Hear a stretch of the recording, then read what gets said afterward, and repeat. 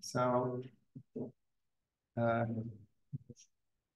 so last time we were going over the properties of uh, canonical full rank canonical exponential family, and um, the first thing that we discussed was um, uh, this uh, result um, that A is a convex function, uh, and the domain of A is a convex set, and uh, so again, A, we can go in as RD to R, union infinity as um, is the convention in convex analysis.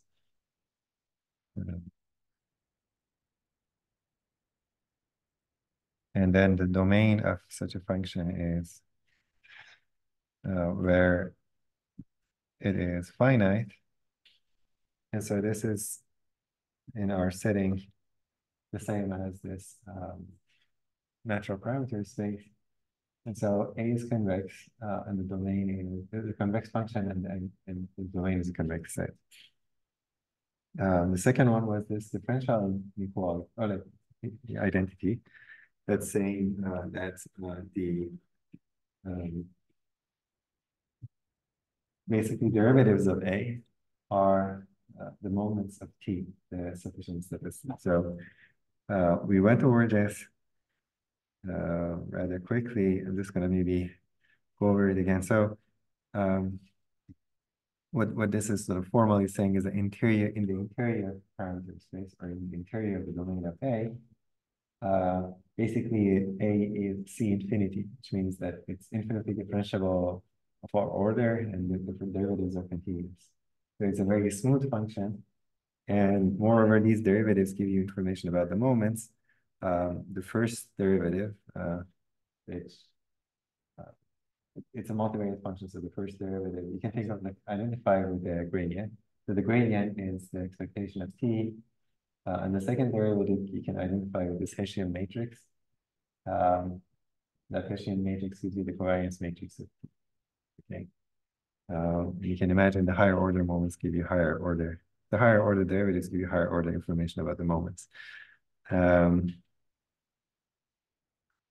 so the proof is via um, the properties of moment generating functions. So the main idea is that in the exponential family, we can uh, calculate the um, MGF rather easily. So uh, if you recall, this is my general formula uh, for the density of the canonical family. And then uh, let's say this is with respect to some underlying measure. I'm, I'm writing as nu tilde uh, or d nu tilde if you want, x. So, um, or respect to nu tilde if you want. Um, and so if you recall, uh, a theta is there to normalize this density, right? So to make it a probability density. So if we integrate both sides, um, the integral would be, has to be one. So integrate against uh, this measure. This side has to be one. And so this um, gives me some, this e to the a theta comes out. Integral e to the theta dx, right? And then I can rearrange, uh, multiply both sides by EA theta. You can see that EA theta is really this integral.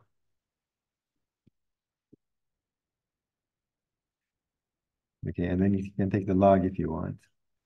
Uh, but that's uh, how A theta is determined in a sense.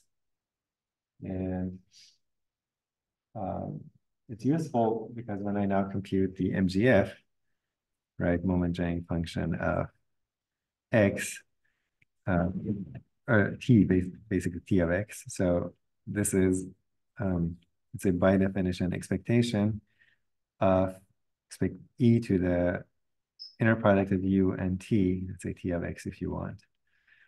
Uh, and so I need to calculate this expectation. I can take the integral approach, so I can appro like uh, integrate uh, this against the density of x. So it's this is as a whole as a, as a function of x.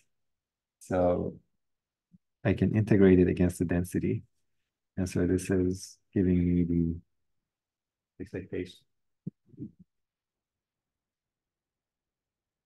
Okay, so far so good.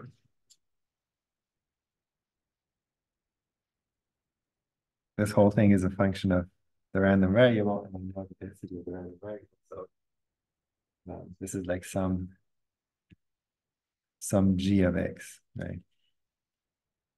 And so we are calculating the expectation of g of x. The integral of g of x. Um, questions? Uh, and then I plug in e to the theta t of x minus a theta, right? And some simplification happens here. Right, I can again pull out e to the a theta or negative a theta, and then expectation u plus theta can combine uh, these terms, and then d nu tilde of x. Okay.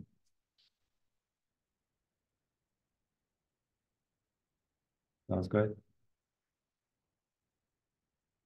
So then what happens then here? Do we know?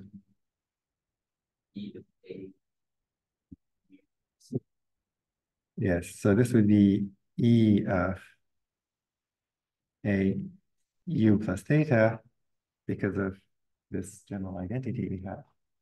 Um, and this would be true um, if u plus theta is in the domain, is in the domain of A, or either in, in omega naught. Okay, because otherwise would be infinity. So, if, um, so to be a little more precise, we start from theta, which is in the domain. Uh, but this is not enough. I'm going to start from uh, theta, which is in the interior of the domain. Okay. And then uh, make sure that theta plus u is also in the, now I can assume it in the domain, but it's in the interior of the domain. Okay, I can say is in omega naught, okay? Uh, if, if u is small enough, this is going to happen because of the definition of the uh, interior. So there exists, let's say, some epsilon bigger than zero, such that if the norm of u is less than or equal to epsilon, then um, so let's say this one uh, implies two, uh, or, let's say one and two. There exists an epsilon such that if this holds, then uh, theta plus u is is going to be an omega naught. Okay, so uh, this is omega naught. I'm not at the boundary, so I'm inside. So I can put a ball of a certain radius, small enough, such that everything in that neighborhood, so this is theta. Um, and, and u is like, let's say any vector whose length is less than, so yes. And we're able to say this because uh omega naught is convex. No, because I am I'm specifically taking the interior in the interior. Oh, Because it's in the interior, it's all small enough such that it's You're using that. Basically, you're using the fact that uh, the interior is not empty. So, or or basically, this result holds for the interior of the Megana. And um,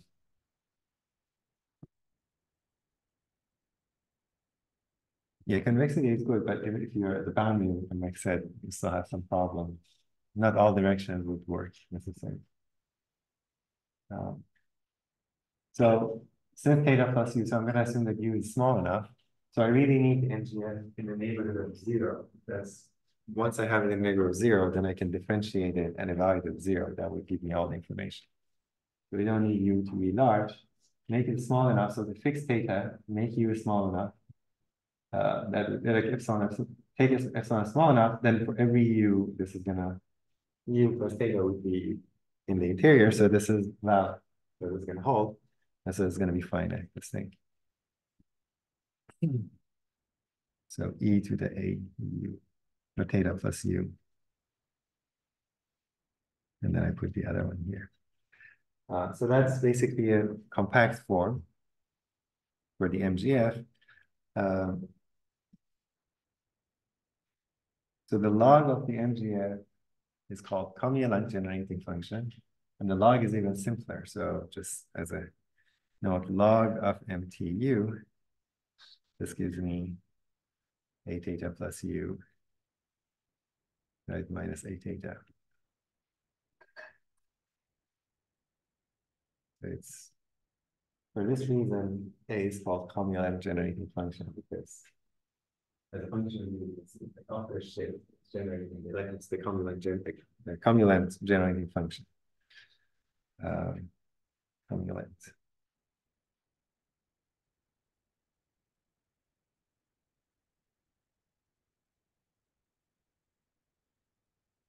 So these Cumulants are interesting. They're similar to moments. They're not moments.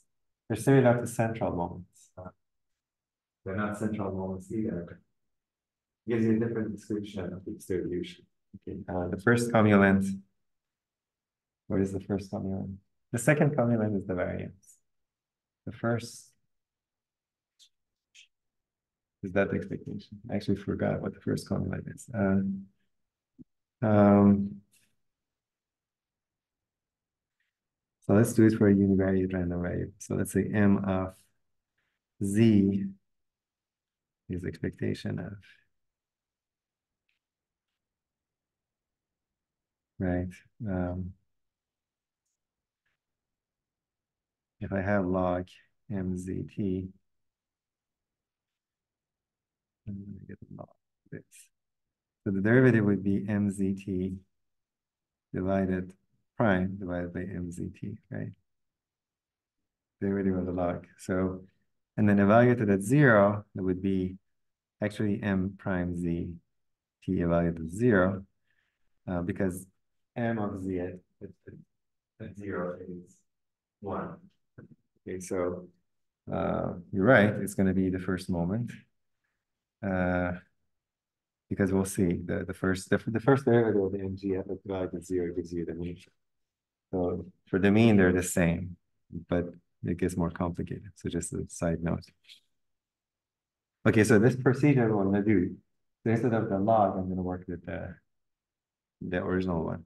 So if I differentiate, uh, let's say with respect to ui, this mt of u, uh, that would give me, what does it give me if I differentiate the the, the, uh, expression.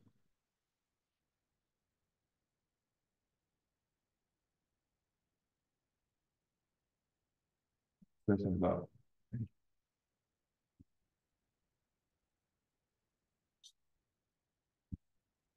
Um, yeah, it's exponential. So you get the derivative of the exponent times the, sorry?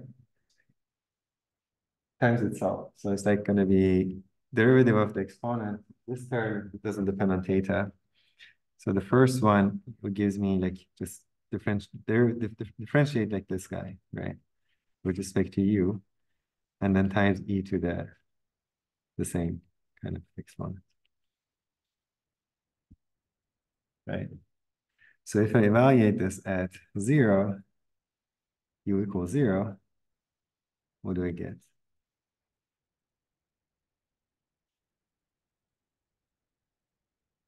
So this part goes away, right? I get zero here, a theta minus a theta would be just zero, and then I get one. So that would go away. So I get partial derivative of this evaluated at u equals zero, right? Um, which you can view as basically the, the derivative of a evaluated at theta, right? So I'm going to just write it as gradient of a uh, evaluated theta, the i coordinate. So that's what it is. Right. Is the same thing. Derivative with respect to the i coordinate of this and then evaluate the data. Does that make sense? Hopefully makes sense.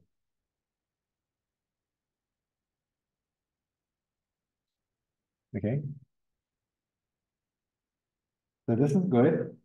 But what is that derivative? This is the general idea. So this at this point is general. So that's one way of calculating for this particular uh, distribution, but this is general. So if you have that the MGF is finite in a neighborhood of zero, then um, this thing, which is just by definition, uh, I'm gonna put the theta if you want, e to the, doesn't matter because we differentiate with respect to u. Uh, the thing is that I can I can move the derivative inside. So this is going to be equal to.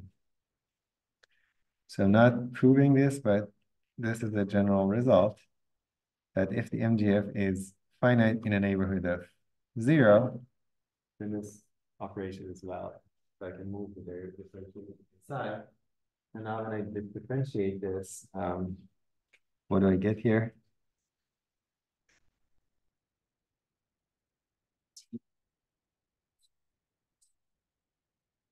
Uh,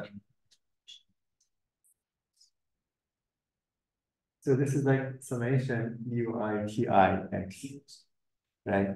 One of the one of the terms only has like let's write it like this. So sigma j from one to d, u j t j x. Right. I'm differentiating respect to the ui. So u2 for example. This is like u1 t1x plus u2 t2x plus u3 t.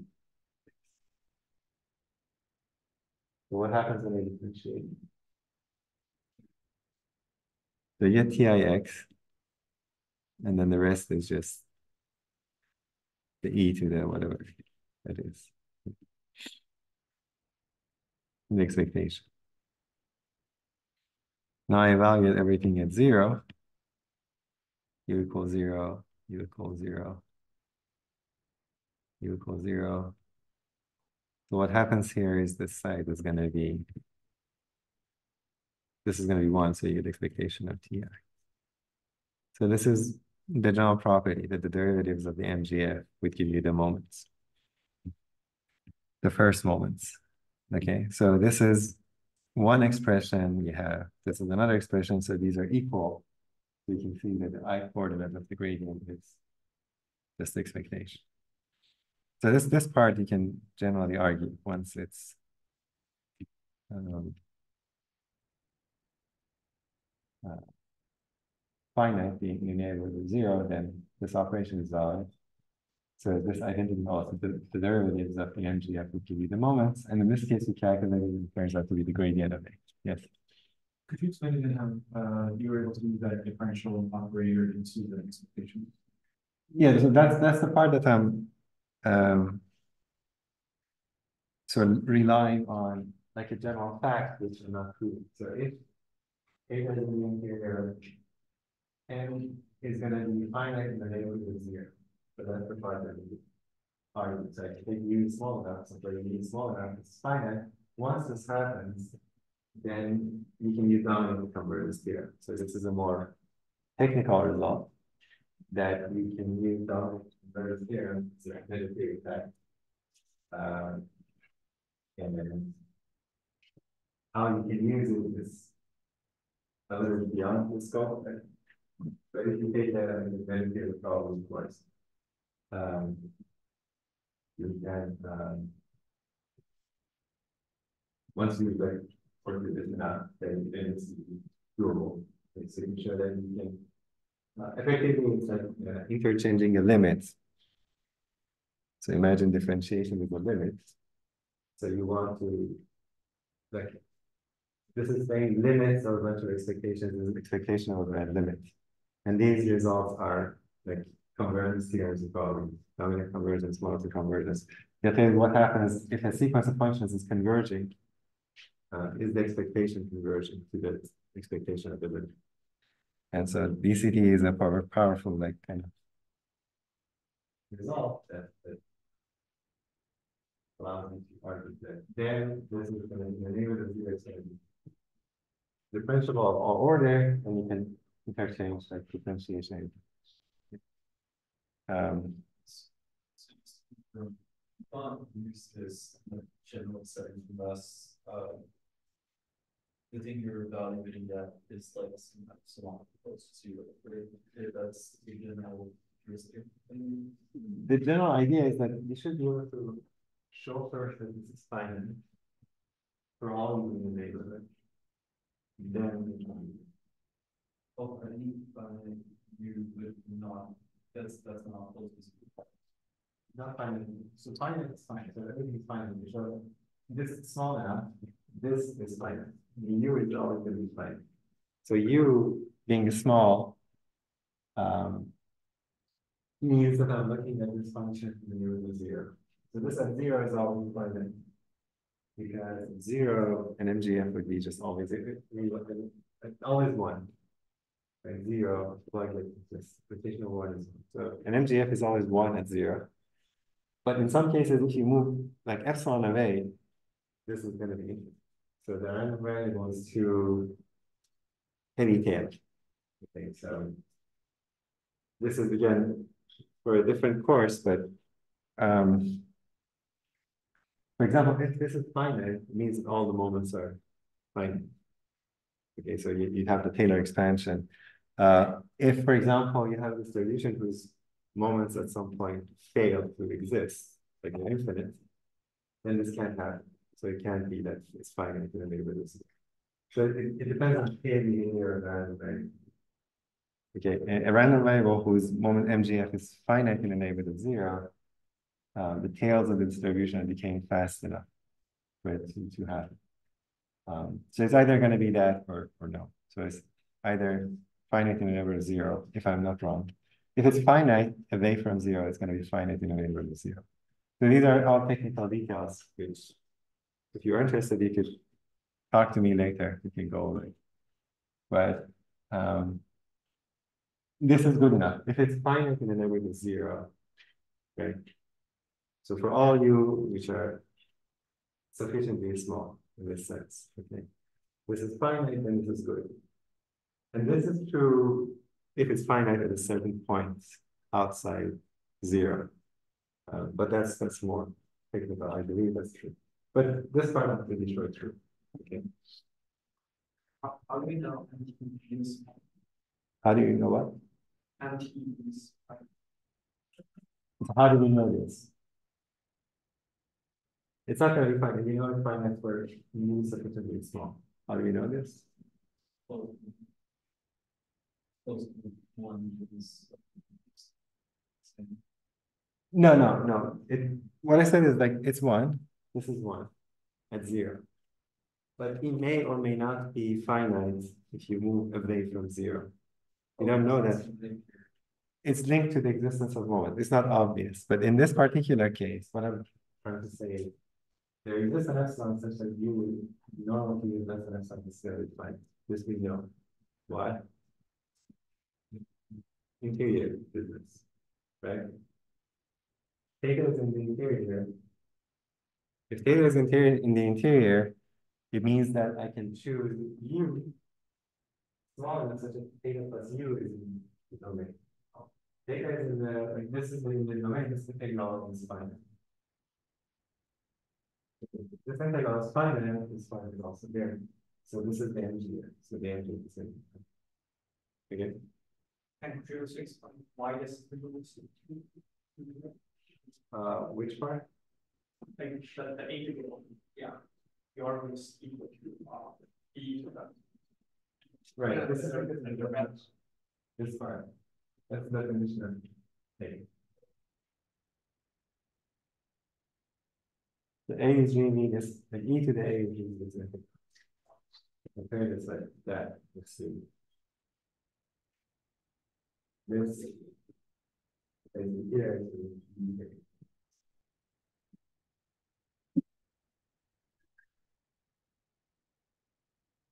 Sounds good. Yeah, I'll give it and How do we, just eigen Uh, so it, it's a function that takes a vector, produces another. The multivariate. Um, but interpretation is fine. So what I'm trying to say is partial moments. So the first moments, like differentiated once with respect to one of the coordinates, divided by zero, the expectation of the i. So this is a vector. We're talking about the MGF of a vector random? A random. Right? So partial derivatives are the expectations of the coordinates. Second order partial derivatives are the what? The other things, like the expectation of other things. Like Ti, Tj, for example, expectation of the interactions. And then the moments are complicated. Moments are random variables. So imagine if you have a random vector. So what are the moments of this?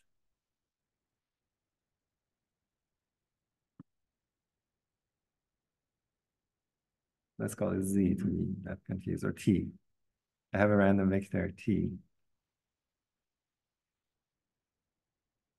So the moments are going to be things like T1 alpha, T2 beta, or alpha 1, alpha 2, 2TD alpha uh, B. For any alpha 1, alpha 2.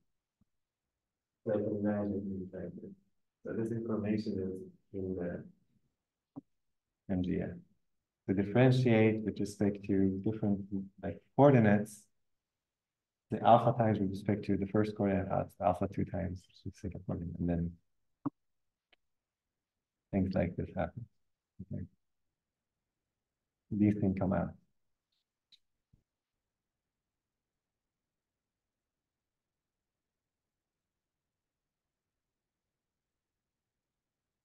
if we do uh and and evaluate that say Yes. give you an expectation. T i. Yes. If you do it twice, you get, uh, what do we get? So if I differentiate with respect to now uj, um, I can move it inside. So partial derivative uj, move it inside. At this point, tj comes out. Okay.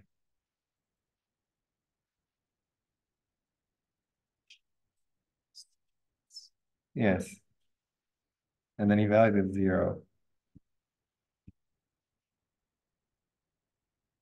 Right.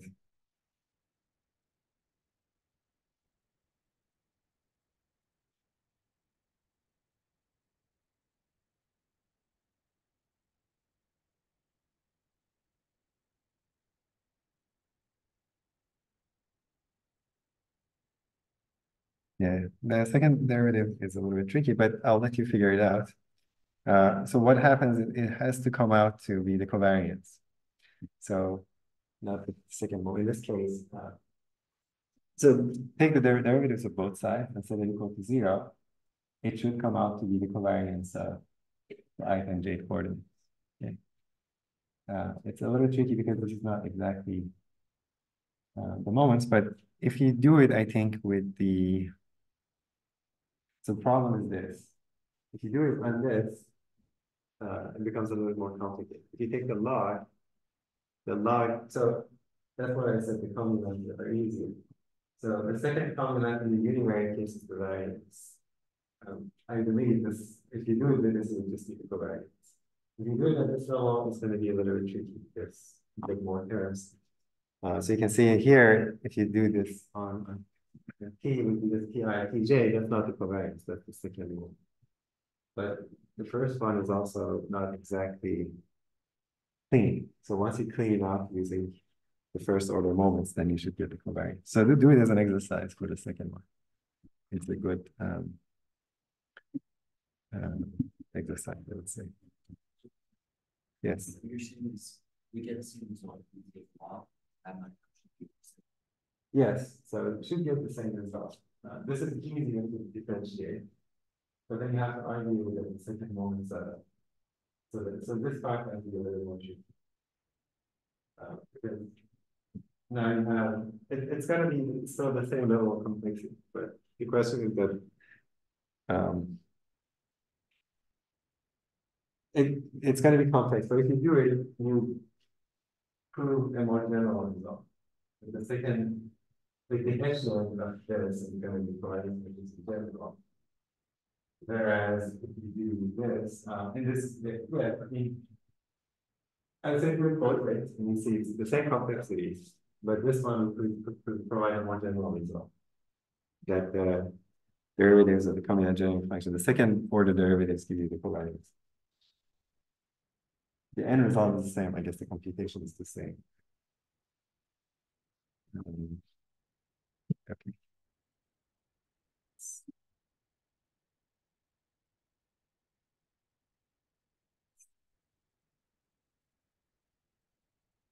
Any questions?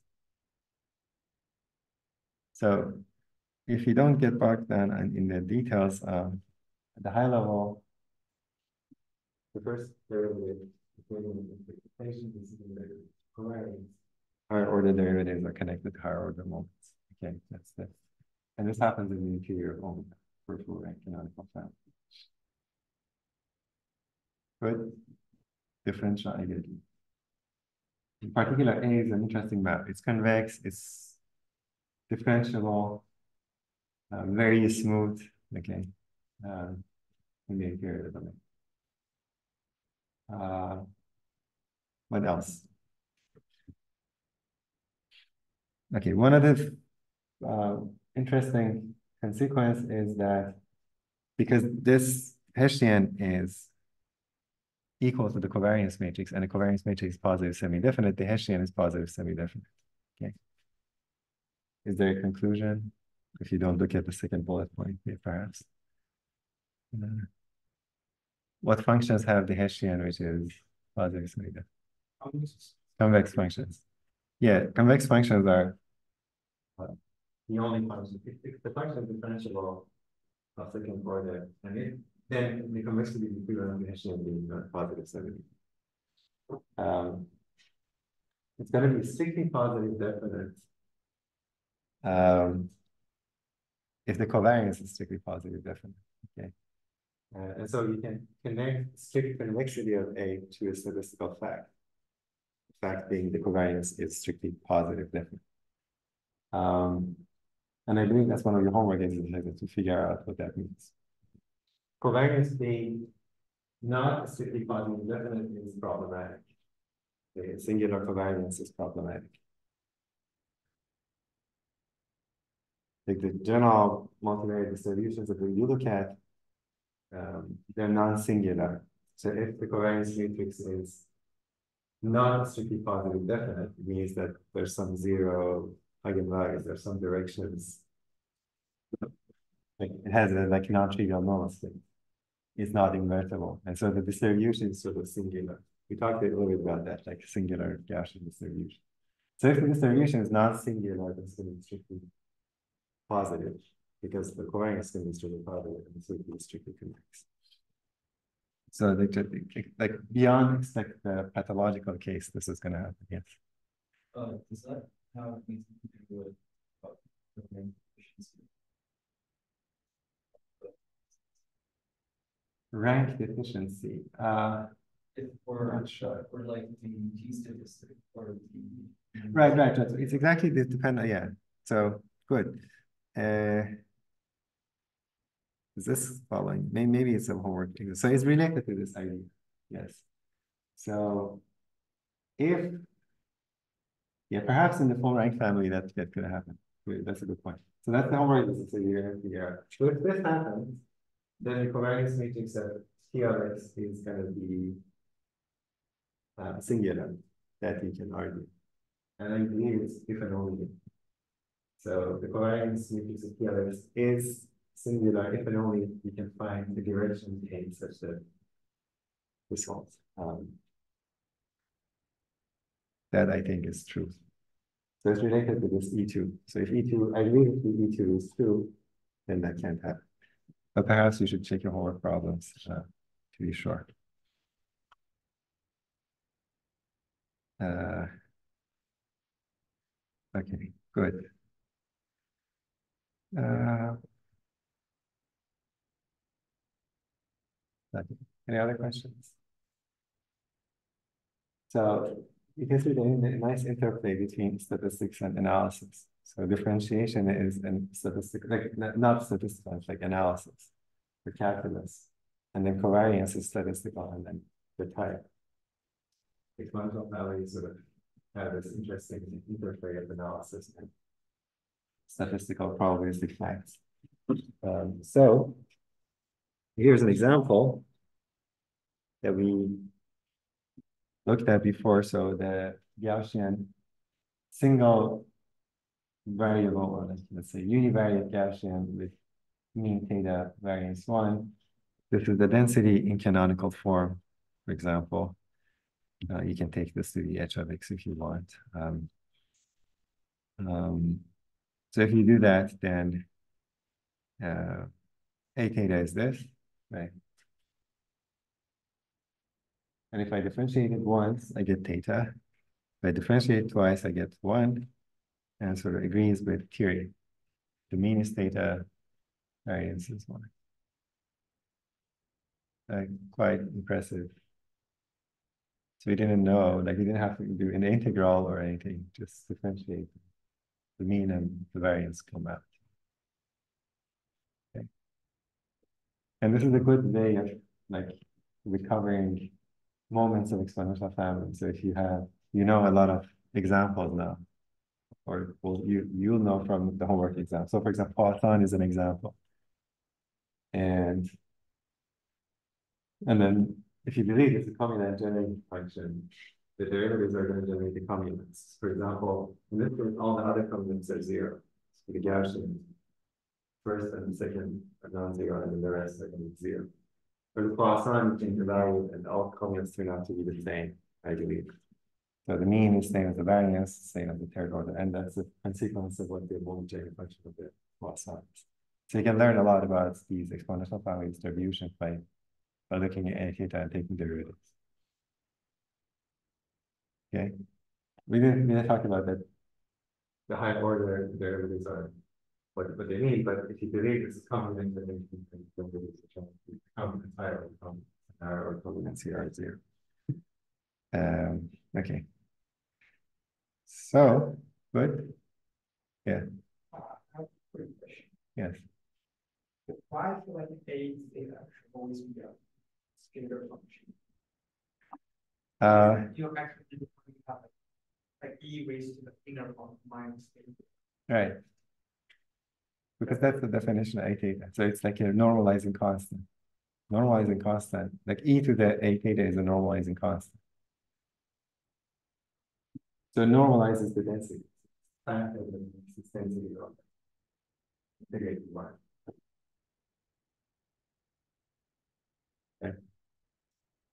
It's a function that takes a d-dimensional variable theta and maps it to a number. And e to the negative of that number normalizes this distribution. That's what it is. Just a normalizing constant. Yes.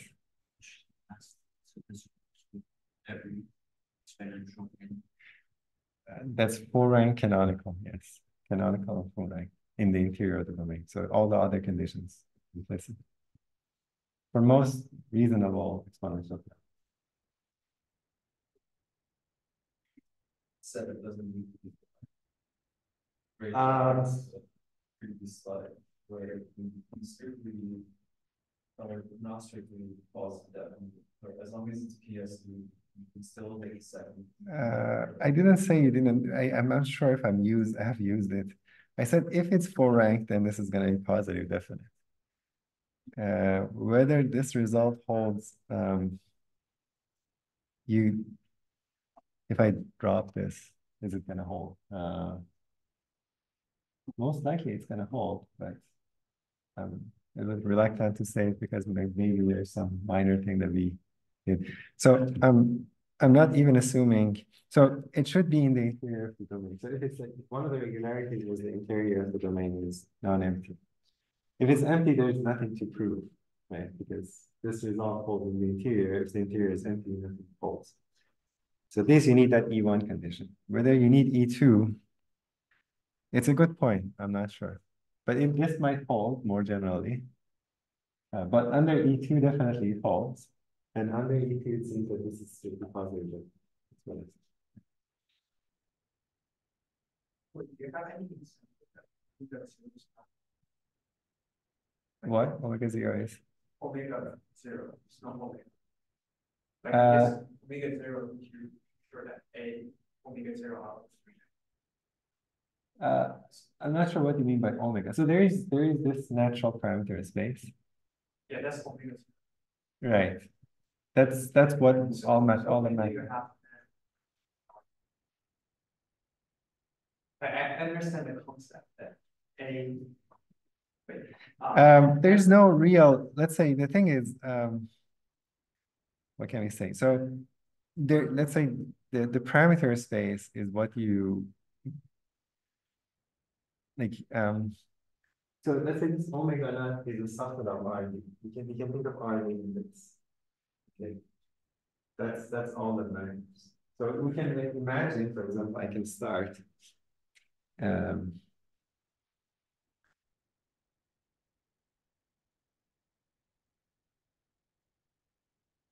We have the canonical family.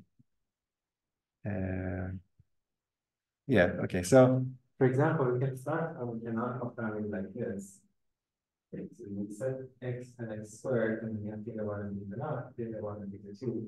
We can imagine for yourself that some characteristics, let's say, like, I could say, okay, I, I like theta one and theta two to be in this set. If that's what you mean by omega. Then it turns out that whatever you like is not gonna hold necessarily. There is something that's like implied by this being normalized, and that's what we call omega naught, and that's what we're gonna. Okay, so there's no real, and there's nothing more uh interesting than this. It's this and then like underlying space, which is R two, there's no omega. Okay. Or omega we don't like this omega, right? So the seven that they had originally was start from some omega, you build some parameterization. Um. This is like useless general. So start from general complex space. Uh, X and general parameter space, this is like something you can set. You define these A and then this forces the subset of this to be valid parameters. At this point, that's what we can. There's no real thing. You can think of this as RD, for example, and cannot. We start with RD. Then it forces us to limit ourselves to a subset of RD. Okay. And that often happens that if that's what your question is, then. Um. So there's no omega. So don't worry about omega. There's no omega. In the canonical case, there's RD in the omega. There's nothing in. Everybody else is saying that. Sounds good. It could be that omega naught is not open. It could have a boundary. And there's an example in your homework problem that you show that there is like a like a it could be that omega naught is a closed set. Uh, sometimes it's open, sometimes it's closed. Um, but in most cases, it has a non-empty interior, and in the interior, good things happen. Okay. Any other questions? So this was easy stuff. Now is the hardest stuff. Okay, so far was easy. And the hardest stuff, I'm just gonna just go over like at high level. Okay. This is like a deep result, like fairly deep.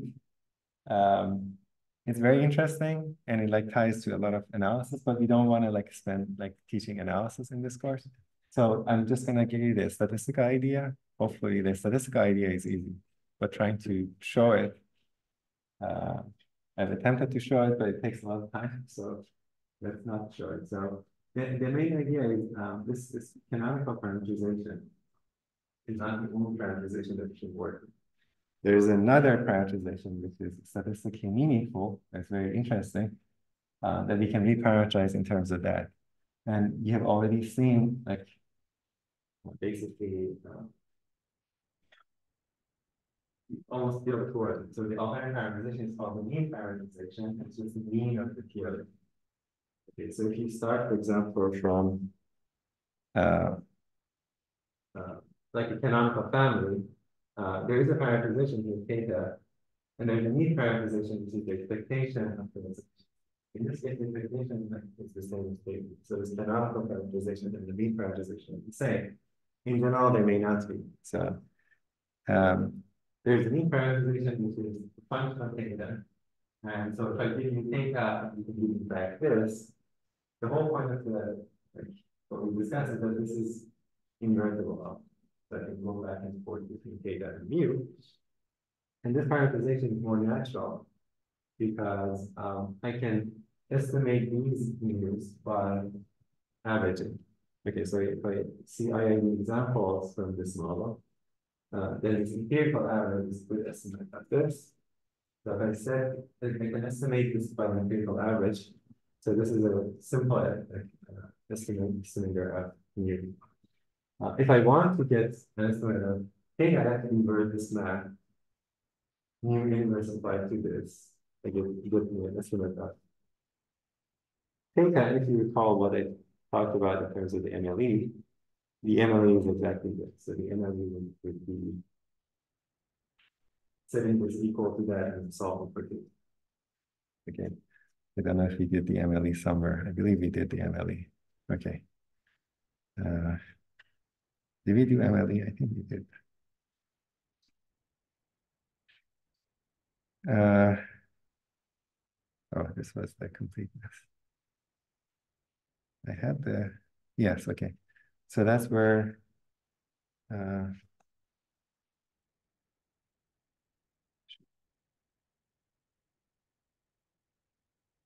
yeah, somewhere, I I, I remember we did the MLE. You guys remember we did the MLE for? Yeah, yeah, but probably we did it last time. I think we did it last time on the board, so it's not here. It's not. Was on the board, but um, so you do that if you have a sequence of IID examples and you write down the joint, the joint is going to be so much funny if you take the derivative, uh, it ends up being uh, you're solving for um, um, end up solving gradient f. I'll, I'll do it later. Let's let's do it later. So the MLE would would be uh, would be hard. So the MLE of this parameter is hard that. So the mean parameter is easier to. And so you want to see if you can go back and forth between the two parameterization and what is uh, the nature of this mean parameterization. Okay. Is this so far clear? So you can reparameterize in terms of this mean parameter instead of working with the, the canonical parameter. And the mean parameters are more statistically motivated because you see T of X, you can estimate the T of mean of T of X. Not as statistically motivated, but it's easier to work with. Sounds good? Okay. Uh, we know the this this way of like the one way of going from so this we know this is regulating. So this parameterization is really the math. Okay? So gradient then state of the mean parameter potentially there is an inverse map. If I can invert this map, then everything would be good. And there's a result that says in full rank exponential family, this map is invertible in the interior of the domain. So there is a bijection. We can go back and forth between the two. Okay. Um,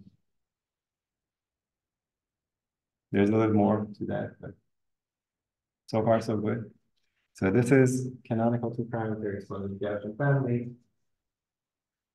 Um, theta one to be include maybe theta to be less than zero, but comparing with the Gaussian formula, we see that theta one is and sigma squared, theta to be one over negative one over two sigma squared. Okay, so the mean parameters here are the T of x is um, uh, x and x squared. So the expectation of t of x is really the expectation of x, expectation of x squared, right, under theta if you want. Um, and so this is the mean parameter vector. And so this is this is the mean parameter. Uh, and you can calculate it, it would be like n. Uh, if it's a, this, is, this is a Gaussian. This is a Gaussian with mean uh, mu varying sigma squared. Uh, so the equation would be mu n. The second one would be n squared plus sigma squared. Right? And I can write m and sigma squared in terms of theta, so you can see this, this is the math. The math that maps. Uh, theta to mu. Okay, so this is mu theta. Mu theta. And it turns out to be also the gradient of this. Okay, so this, this all works out. Okay. The idea is that this map is invertible.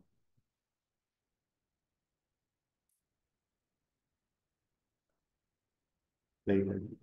But, but so far so good. This this is doable. Okay.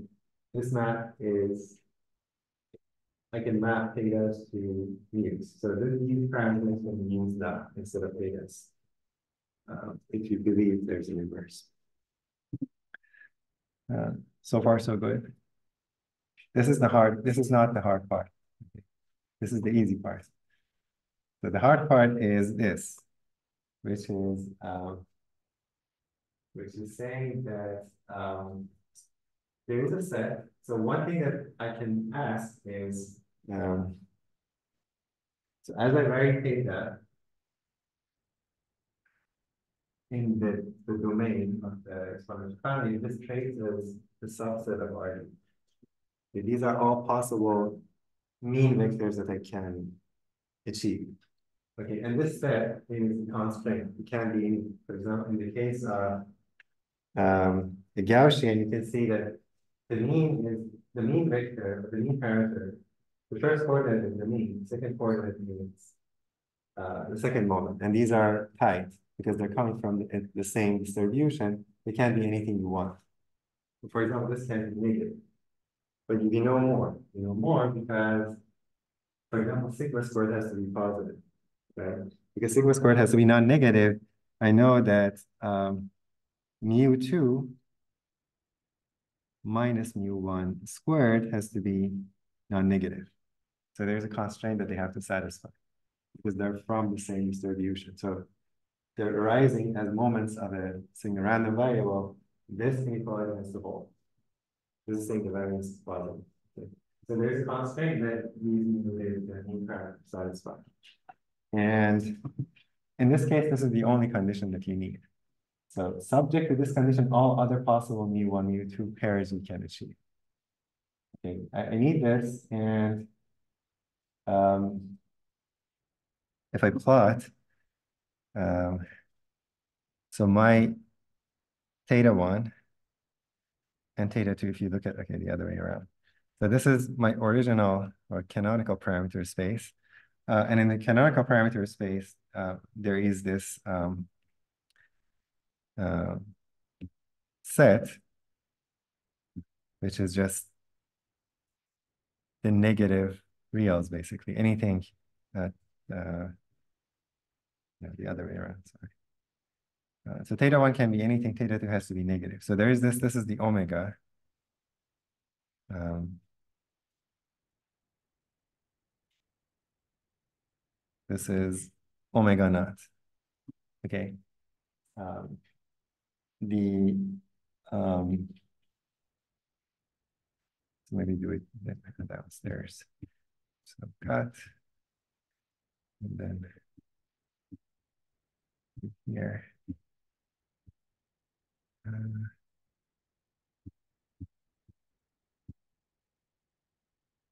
okay, so um, this is the omega naught, and this is mapped by gradient of A to the mean parameter space, which is um,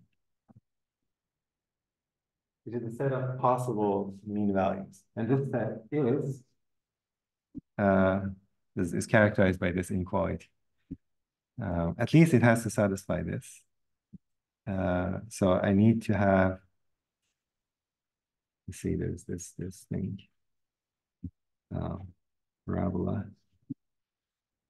Um, and then anything above this is achievable. Uh, we don't know this, but at least it has to be above this, maybe below. So far, we know that mu one and mu two has to satisfy this constraint. Okay, uh, so um,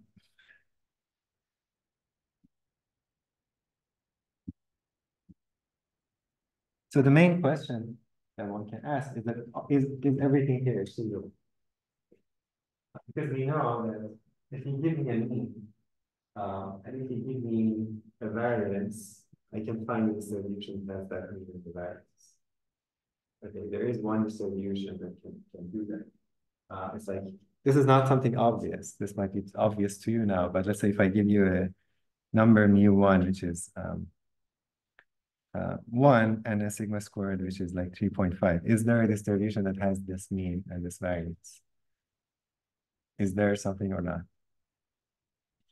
So why? Okay, because the normal distribution can can do this. Uh, but why a normal? Why there is a normal distribution for every every sigma squared? Because this there is. this is the content of this theorem that I want to say. Like, this is this, that's why I'm saying E. So in, in what it's showing that it's going to say that for any basically realizable mean parameter, there is an exponential family that achieves that mean. So the, the, the, the exponential family that realizes these is Gaussian. So that, that's the exponential family that's for every possible realizable mean parameters. You can find an exponential family that achieves those sets. And so it's like one when we prove that or that we can try to prove is that there exists a Gaussian for every pair level of depth of the result. Okay. So you may not have thought about whether there exists, but you could um, basically once you write this down, you integrate, you see that oh, I just need this to be negative and this to be positive, and this is related to the mean and the variance, and I can invert this. So okay, so if you give me any theta one, like sorry, if you give me sigma squared and then square, I invert this math, right? If I give me m and sigma squared, uh, if I can invert this, I can find theta one and theta two, long as the theta one and theta two satisfy this, then there's a Gaussian. Right. Uh, or it's like too, it's too, like you're too familiar with this result to see the significance of it, that there exists a Gaussian with any mean and variance that you give me. This is not necessarily have to be true. It could be some constraint that, so the, the result that I want to talk about is something like this, okay, that, um, let's say they, they satisfy this condition. Um, and, um, we know that this has to be true, and this is the only condition we need to satisfy. Uh, then there exists a like an exponential family that, that can realize any point. Okay. The exponential family that can realize this Gaussian in this case, but in general, um, uh, for any set of like realizable means there is Gaussian. Like there is an exponential family that achieves um, every point in that in that in that set. So if I want to be a little bit more careful, uh, I have to define what, what I mean. So the set of realizable means is this. So the set of all mu's that I can get uh, as the expectation of this TLX uh, under some density, okay? um, not necessarily exponential. So we have this underlying mu or mu. Let's say this is uh, the Lebesgue. What I'm saying is that look at all possible means uh, such that uh, this is just the integral, right? T of x, tx dx. So if there is a density, not necessarily the function family, such that when I integrate this T of x against that, gives me that mu, that mu is realized. Okay. So, for example, if x, uh, T of X is X one. And uh, sorry, X and X squared. Uh, this mu is gonna be integral x dx. Let's say this is this is uh, the big measure. Um, this will be x squared px dx. Um, and so um, we can argue that for any uh, uh, I can I can give me any mu and any uh, basically non-negative. Uh, so if you give me anything, uh, so if this is mu one and mu two, um, as long as they satisfy this inequality, so they have to satisfy this. Um, as long as they satisfy these, there, there is there's gonna be some density that can, can do this. This is not tricky. Uh, this is the only consider like the only requirement here. Actually, it's maybe tricky, maybe not, but um, this part is not difficult. So that any mu one and mu two that you have, mu two squared, sorry, mu two is bigger than or equal to mu one. This is saying that the variance is not negative. Okay, this constraint on these two is saying that the variance is not negative. Uh, any set of mu one and mu two, let's say not including the boundary. Uh, so let's say if I have the interior of this basically. So this this if if this holds, which means that the variance is positive, um, there exists some density that that, that can realize those needs. Okay. So the set of all possible mean values that I get for a particular of fixed distance statistic, the set of all means uh mean, means that I can uh, realize by some density is, is what I call it. Okay, yes. trying to understand this concept so this is, does it get trickier when we have like say three views, four views? Uh, it is trickier, but um, they, they, they have to satisfy more constraint. But um, the way that I'm gonna define, I, I, I don't care about this particular set, okay? Uh, it, it becomes trickier to define exactly like closed form, what are the constraints? But the way I'm defining it is all the constraints that need to be true um, for it, for, for there to exist some density such that this holds. Okay, so this is like abstract definition. I'm gonna define this set to be the set of all mu's that can be realized as uh, like the moments of T for some density. Okay. But abstractly, there's no issue here. Okay, this is a well-defined set. I might not have to like write it as inequalities or so, but but it's a well-defined set. So the, the the interesting thing is everything is in the interior of the set can be realized by the exponential family in this. This is the, the cool result. Okay, all the means that are possible, like all, all every mean, every mean uh, that's realizable with some distribution can be realized by the exponential family with that sufficient statistic. Like we don't have to go outside the exponential family to realize even parameters. Okay, and it's like it's sort of a completeness result. So it's complete that you can sort of capture every moment by an exponential family. So for example, if you have this, um, there are many like distributions that that give you like like mu one and mu two, but the exponential family associated with this can also give you the mu one and. That um the like one more step is that uh not only everything here can be realized by the exponential family but it's achieved by the maximum entropy. So it's the maximum entropy distribution that achieves those. So the Gaussian, for example, is the maximum entropy distribution that realizes kind of the particular set of mean parameters. Um, so the maximum entropy, maybe I'll talk about that later. But um, uh, is this sort of what I'm trying to get at is clear? So this set is bigger than what is potentially realized by an exponential family. So if I have an exponential family with this sufficient statistic in the canonical form, uh, it would be something like this. I start from of x.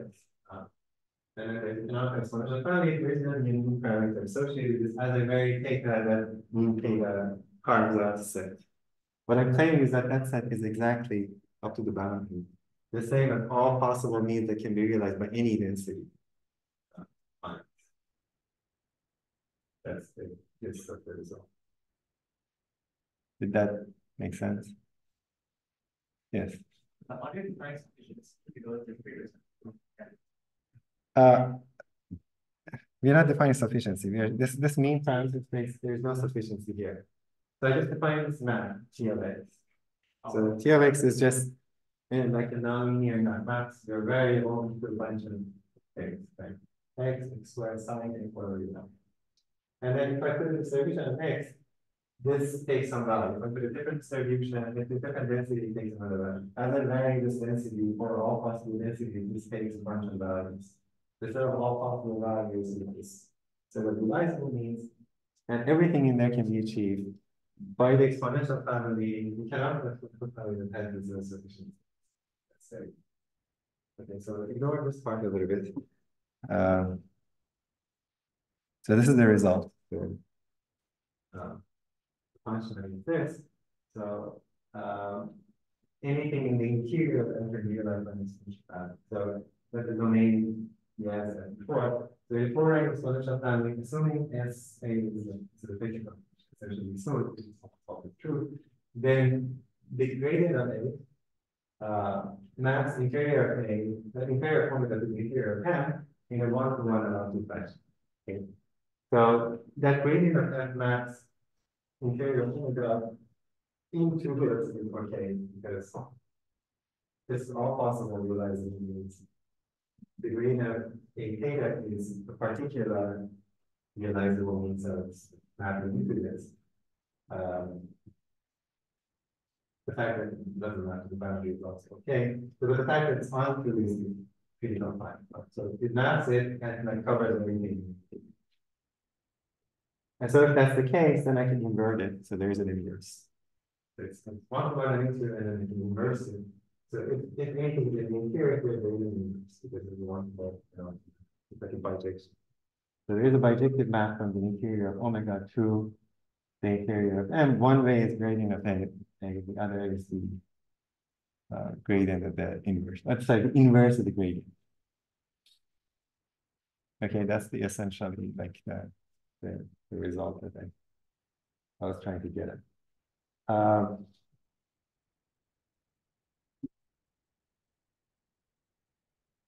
okay, so uh,